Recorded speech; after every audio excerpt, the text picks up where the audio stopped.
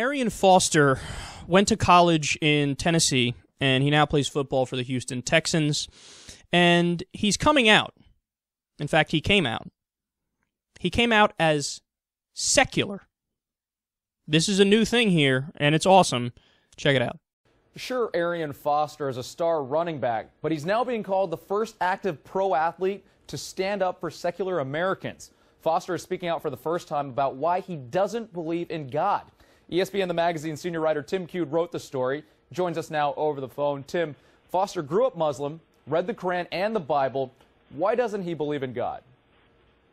Well, Kerry, I think there's a complicated answer to that question, and a lot of it has to do with the way Arian was brought up. He was brought up Muslim, but he was brought up in a very free-thinking family where they encouraged their their kids to sort of take different looks at things. And Arian always had sort of a scientific bent. I think that he always he told me that he always looked at things and, and looked at this idea of a higher power through sort of a skeptical lens, and and a lot of it was that he didn't he didn't quite understand you know, the, the way that people used God to inject into into everyday life, you know, and, and to use a modern example is the way that, you know, players say that God helped them win the game, and it just it didn't ever didn't ever work with him, and so he he did read the Quran, he did read the Bible, and he did that as sort of research to try to to find his own truth, as he puts it and I think that that's that's really the the where it, where it started. And and he he avoids using the word atheist because he says he has an open mind, and and he may change his mind someday. He may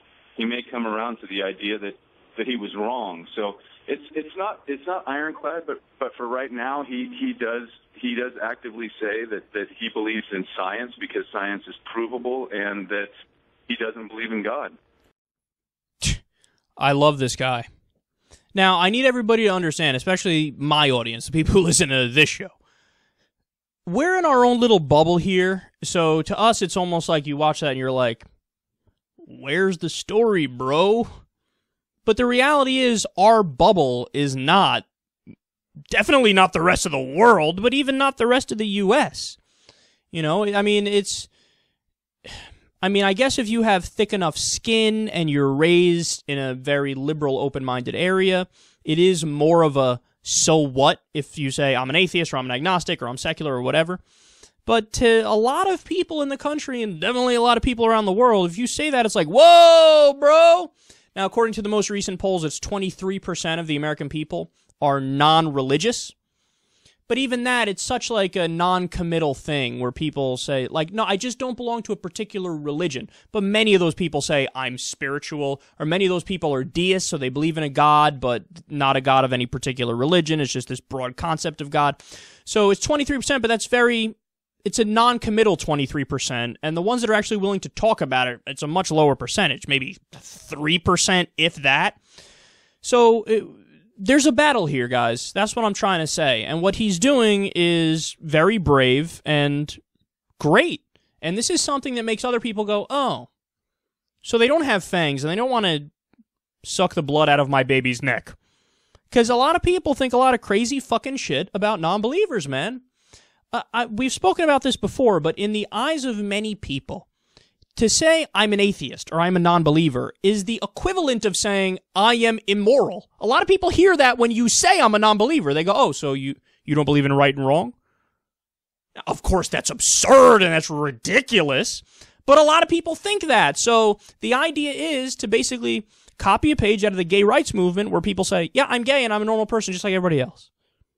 And you liked me, you know, before you heard I was gay, so now I said it nothing changed. So accept us.